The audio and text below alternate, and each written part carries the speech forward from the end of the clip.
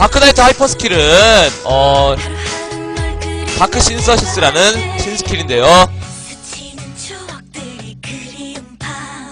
300%로 8명의 적에게 10번 공격합니다. 그리고 active skill은 어 buff skill은 30초 동안 물공 30% 올라요. 그리고 drain이 100% 얍. hyper skill입니다.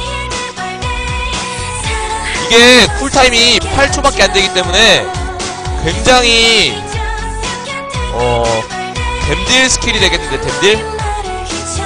후딜도 그렇게 안 길고 열대치고 범위도 괜찮고 나쁘지 않은 것 같아요 장난은 자주자주 쓸 수 있으니까 말렙 스킬은 뭔가요 이거 어? 영웅이랑 다르네요? 60초간 데미지 10% 데미지 최대값 5, 5만 증가 아 똑같나? 똑같나? 똑같나? 녹화를 끊겠, 끊겠습니다